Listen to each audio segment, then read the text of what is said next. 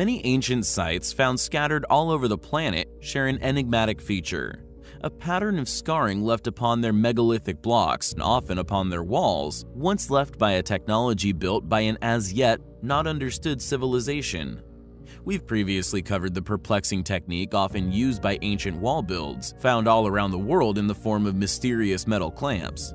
Used to seat huge stone blocks as they settled over the following years, these clamps, dated to similar times within antiquity and varying in style from continent to continent, somehow turned up all over the world at around the same time, strongly suggesting some form of intercontinental travel and thus sharing of technologies. Furthermore, and perhaps more intriguing, are the links that we, here on the channel, along with others in alternative research, and even funded institutes from nations around the world, have begun to notice and hopefully triangulate a signature left by this once highly advanced group of individuals. The most noticeable of these sites, and the one which initially started us upon this journey, was Longyou Cave in China. A cave system hewn from solid bedrock, leaving no waste piles of stone anywhere, marking the stone with a telltale scar pattern. These parallel marks are not just found at Longyou. Similar yet not identical marks have also been found elsewhere on Earth. A slight variation in style is what one would expect with shared knowledge. As with the metal clamps, a slight variation can be found from continent to continent. These similar marks can also be found at the ancient quarry of Yangshan, China, and Petra in Jordan, both argued for years to actually be the workmanship of a civilization far older than any noted within modern academia. These marks were then discovered to be upon the ceiling of Cave 1 at the ancient site of Mamallapuram within India. Another site which in places shows levels of erosion far in excess of that which should be seen at a site dated within known history. Yet perhaps the most impressive of these marks, and most probably the ones made by the conceptual machine of origin, are the scars witnessed and now subsequently catalogued at Baalbek. These are far too large for any hand tool, made into solid granite with such precision. These also display circular motions, as if left by a modern-day tunnel boring machine. This evidence, undoubtedly unnoticed upon many more ancient sites, is clearly compelling evidence to support our channel's hypothesis that a mysterious history once occurred here on our planet, and will hopefully shed some light on the amazing people responsible for this phase of our past. Thanks for watching guys, and until next time, take care.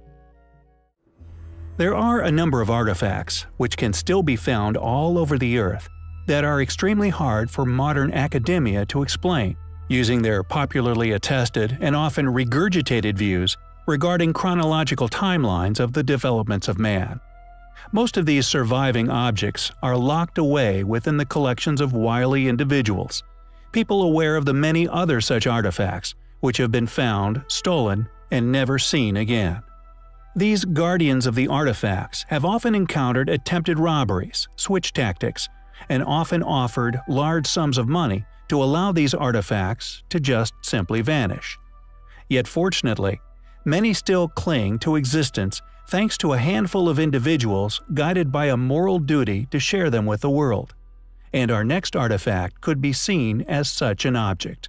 Known as the Dashka stone, it is a controversial artifact that it is believed by some to be the guidelines used by the quote, architect of the world. Also known as the Map of the Creator, the Dashka stone tablet has baffled researchers since its discovery in 1999, and as impossible as it may seem, a number of specialist Russian experts, after in-depth analysis of the stone, have concluded that it is indeed a stone map that is as much as 120 million years old. Created from a bird's eye view, presumably from space, the Dashka slabs depicts in detail the peaks and valleys of the Ural Mountains. Although mainstream academia will simply deny the possibility of the Dashka's true purpose, and indeed age, many who have researched, mapped, and analyzed the slab have concluded that it is indeed somehow authentic and well over 100 million years old. Initially discovered by archaeologists from the Bashkir State University, it was actually found within the Ural Mountains of eastern Russia researchers were understandably stunned when they realized that the tablet displayed a highly accurate topographical map of Bashkiria. a specific area of the Ural Mountains, at a scale of approximately 1 inch to 1 kilometer.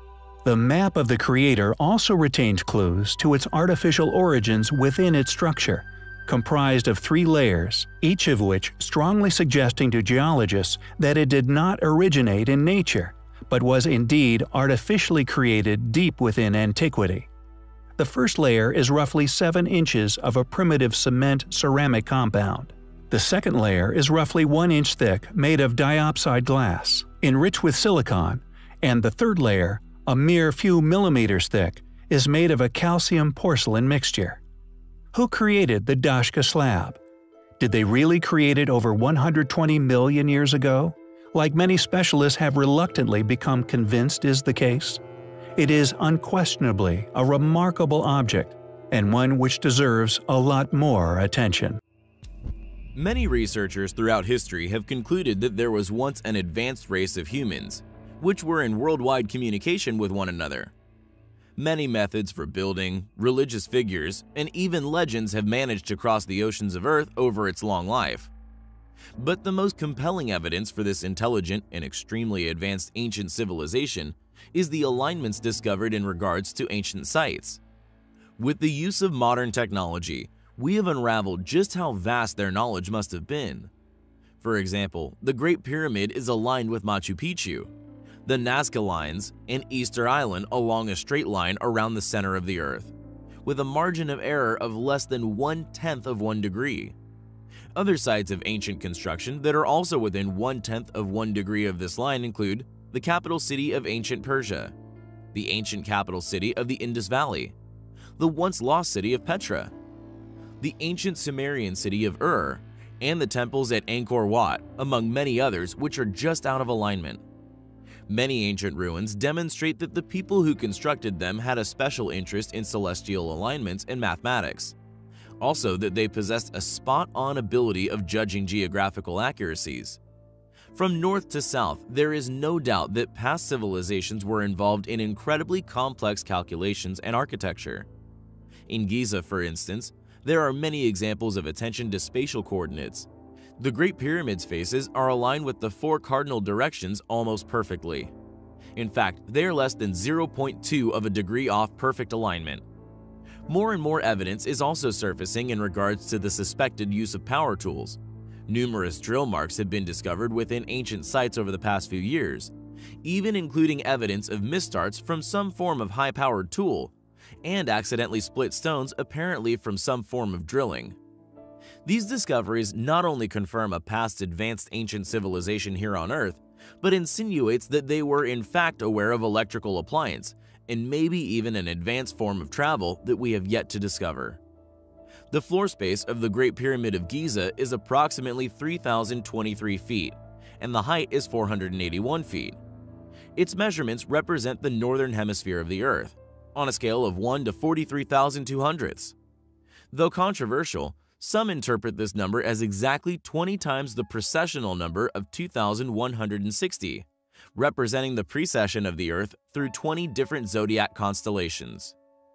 Interestingly, the ancient Mayan culture was also heavily implicated within the alignment, a civilization who displayed advanced celestial knowledge, including a deep fascination with the ages of the zodiac, with a life calendar ending around the beginning of Aquarius.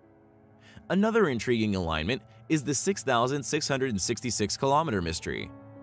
The distance between various monuments, Kailash to the North Pole, Kailash to Stonehenge, Egyptian pyramids to the North Pole, Stonehenge to Devil's Tower, Stonehenge to Bermuda Triangle, Bermuda Triangle to Easter Island, and Easter Island to Tazumal, are all at a precisely 6,666 kilometer from one another. Just what exactly were these ancient civilizations up to?